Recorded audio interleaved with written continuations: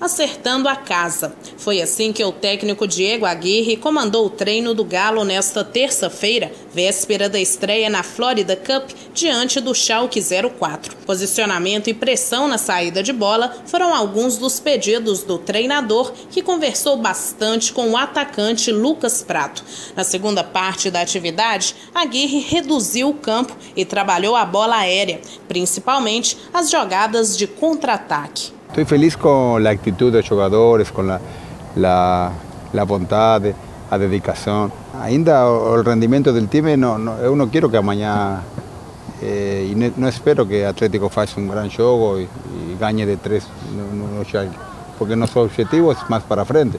Agora, lógicamente, sempre vamos a jogar para ganhar e para, para dar o melhor. Pero espero que, que no dia de comienzo da Libertadores depois do primeiro jogo pueda falar, ah, jogamos muito, jogamos, eh, fizemos um grande jogo. Esse, esses são os objetivos. Perguntado sobre o estilo do novo treinador, Marcos Rocha falou do poder de fogo que o time não pode perder. Coisa que foi bastante questionado foi a questão da parte da marcação. A gente está trabalhando isso já desde o primeiro dia que ele, que ele assumiu a equipe.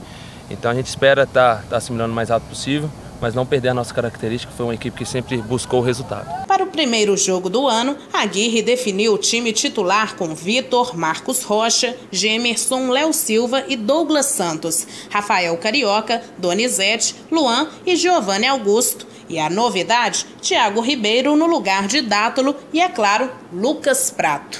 Eu tenho muitas opções e grandes jogadores. Tanto Thiago como, como Dátulo são dois grandes jogadores. Eh, y también tenemos otras opciones que pueden ser parte del elenco.